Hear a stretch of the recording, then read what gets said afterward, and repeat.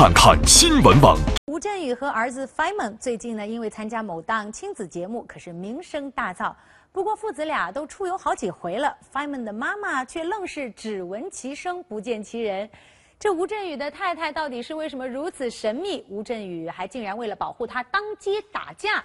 这次趁着吴镇宇太太首度现身之际，我们一定要好好的了解一下她。这女子一定不简单。在最新一期的某档亲子节目当中，千呼万唤始出来的吴镇宇太太飞面的妈妈终于现身了。不过，相比于其他妈妈的出场，吴镇宇家的这位就有点凌乱了。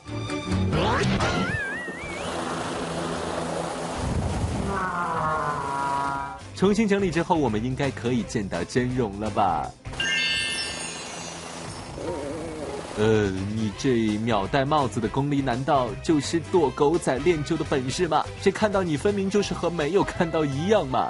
之后在妈妈们展示厨艺的环节，飞麦妈妈也始终压低帽檐，最多只露出侧脸。始终躲着镜头的吴太太，在等到儿子和老公回家之后，激动万分。可是人家还是时时刻刻不忘用拳击手套等物体遮住正脸，偶尔在镜头面前露出侧脸，也真是一闪而过呢。嗯，包包在这里，开心吗？哎，包包，包包，包包。看完整期节目，丝毫不夸张的说，观众朋友们还是不知道吴镇宇的这位神秘太太长什么样子。这吴镇宇太太到底是什么来头呢？在之后曝光的拍摄照片当中，我们终于见到了飞妹的妈妈的庐山真面目。原来吴镇宇的爱妻叫王丽萍，人家可是一位来自于新加坡的模特。那到底为什么吴太太在镜头面前要如此的低调呢？很难想象，你们觉得每一个人都愿意上电视。这个想法我觉得有点奇怪，可能是电视是你们的工作，觉得比比较平常，就像警察一样，你们愿意上去公安局或者警察局吗？警察当然不介意了。吴镇宇字里行间透露着对太太不愿上镜头的保护之意。其实王丽萍天性低调，作为金马奖影帝的太太，她早已经退居幕后，专心做妈妈，不愿意面对镜头。至于婚前的身份和生活，已经和现在的吴太太相去甚远喽。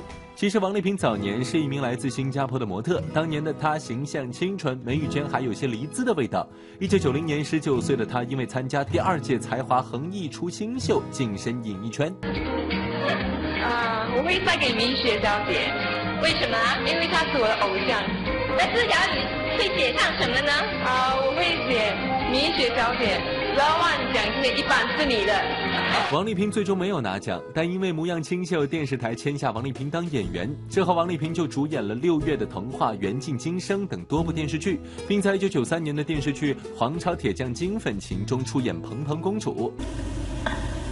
我愿意。我正式宣布你们成为夫妇。比起吴镇宇连考三年才在一九八三年顺利进入 TVB 演员训练班，王丽萍算是比较幸运的。可是因为外形和戏路的限制，王丽萍的发展始终不如同时期的范文芳等新加坡女星来的顺利。之后，一九九五年，王丽萍离开新加坡，来到香港当模特。而在一九九八年，她和吴镇宇在香港一间 disco 舞厅认识，两人一见钟情。在热恋四年之后，吴镇宇向王丽萍求婚了。还有有一次向太太求婚 求婚嘛，我说先买个摄录机，我说买什么？我说买啦，买你喜欢买东西，我想买完之后就拍下我。你要求婚的那个样子。对，就在某一天把戒指都买好了，就很多人都看。其实本来很多人就比较小了，就就是就就给他这样了。然后呢？然后大家嗯才能起来哦，我就这样，但是没有拍下来，他再到今天的后悔。因为他要省钱，就没有连浪漫都省掉了。两千零八年，两人迎来了他们爱情的结晶飞妹。而就在太太高龄怀孕期间，吴镇宇不仅放下手头工作，还经常和太太一块儿去市场买菜，做饭给太太吃。我觉得，因为我太太没有太多朋友嘛，她是新加坡人，嫁到香港，你起码要要照顾她。嗯。吴镇宇对太太的疼爱可见一斑，其中最轰动的一次要数2010年他护妻当街打人事件。当时吴镇宇坐在车里等候妻子买面包，王丽萍入店后，店员正在打扫，因看到灰尘四溢，要求对方停止扫地而发生口角。